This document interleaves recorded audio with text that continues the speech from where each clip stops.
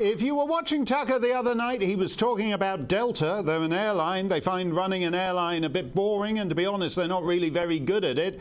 And if you're wondering why their cabin service is non existent, it's because most of their effort has been focused on changing election laws in Georgia. That's far more fascinating to them than getting you a ginger ale and a bag of sun chips on a long haul flight to Hawaii. And these airline execs taking a flyer, winging it on election laws don't want any picture ID for voting. Now Delta's decided the law doesn't meet its standards. Requiring voter identification, says Delta, is Jim Crow. But wait a minute, you might be wondering. Doesn't Delta Airlines require photo ID in order to board its planes? Ooh, that sounds like Jim Crow. Why isn't that racist? Because it's not. Shut up. Next time you fly on Delta Airlines, it might be fun to refuse to show photo ID and point out that it's racist to ask you for it. Well, what passes for the government of the United States has taken Tucker up on that. Effective immediately, you don't need to show ID to fly around America on Delta or United or anything else. There's just one slight catch. Uh, to be eligible for that express check in, you have to be a non citizen, non resident, non legal alien. You just have to come across the Rio Grande. They'll give you a COVID test, and positive or negative, you get the old priority boarding for Maine or Alaska or wherever you want to go. No ID required. Come fly our friendly skies. U.S. citizens not eligible. Tucker Carlson is the host of Tucker Carlson Tonight on Fox News and the brand new Tucker Carlson Today on Fox Nation. And after that comes Tucker Carlson This Morning and Tucker Carlson's Afternoon Tea. You won't want to miss that last one. Uh, Tucker, you, you made a throwaway and uh, the government says, you know, that's a great idea, but only for people who shouldn't be in the country in the first place.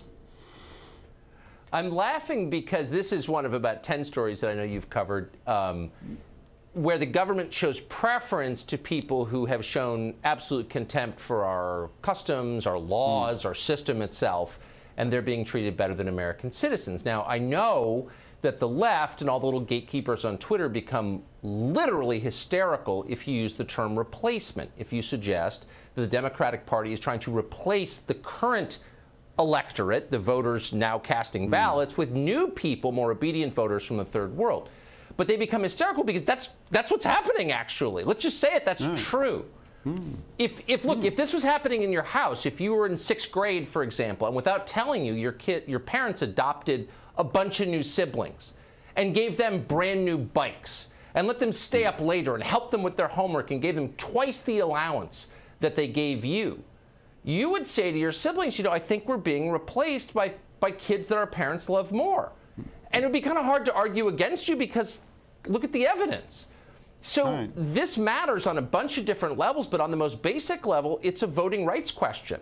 In a democracy, one person equals one vote. If you change the population, you dilute the political power of the people who live there.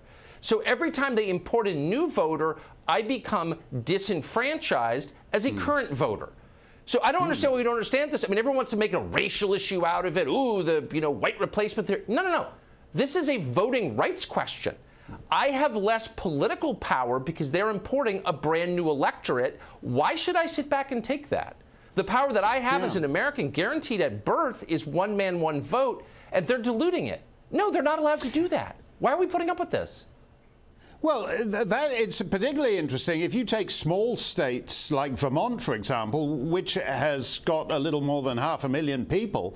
They're basically uh, uh, being uh, the equivalent. You use the word replacement, but they're basically being rendered irrelevant just by the sheer numbers uh, coming right. over the border in the course of any one year. So if the if the Democrats get their way and abolish the uh, electoral college, Vermont and Wyoming and all kinds of other states simply don't matter at all. What I don't get, Tucker, is why are people put up with this? Is it just because of incompetent framing of the issue by Republicans?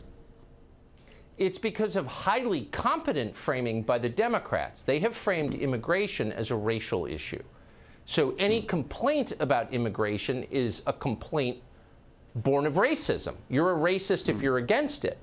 But as far as I'm concerned, it doesn't really have that much to do with race, actually. I mean, this is people from a bunch of different countries and cultures. Most of them are Latin, but within Latin America, anyone who's ever been there can tell you there's a huge range of people and of subcultures. Like, it's not hmm. as simple as they pretend it is. But it really is much deeper than race. Race is a factor for some people, but underneath it all, it has to do with what kind of country you want to live in and how much political power you have. By the way, I will never understand as long as I live why the so called black leaders, Maxine Waters, mm. people who claim to speak for black people, are sitting by and allowing black political power to disappear. Like, so in right. a generation, I really don't think that Ma whoever replaces Maxine Waters in Compton is going to be listened to by anybody because, as a numerical matter, it just won't matter. Okay, so African Americans who, by and large, have you know been here for 400 years, our ancestors were taken mm. here 400 years ago, they will have no say in how the country runs because, as a mathematical question, it just won't matter. No one wants to say this out loud, but it's true, and it has nothing to do with race. It has to do with the people who live here are being disempowered by a new group brought in without their consent by a political party that cares only about political power. If you frame it that way, I think everyone can kind of wake up and realize what's happening. Yeah, and you're absolutely right. The, the black Americans will be the first victims of this, and they will be yes. re rendered demographically irrelevant, and they'll wonder, and they'll and they'll suddenly figure out, oh, all this uh, Georgia Jim Crow talk is uh, it, it was actually just a cover for something entirely different. Exactly. That is that's what it is. And so when The Gap or Coca Cola, which by the way is given type 2 diabetes like half the black population, but leaving that aside, when they get up and they're like, oh, Black Lives Matter, you know, we love black people, etc., they're actually supporting an immigration agenda that mm. eliminates black political power. That's just true. And yeah. I don't, again, I don't yeah. know why. Uh, it's so obvious, even I can see it. And why is no one saying this? Yeah.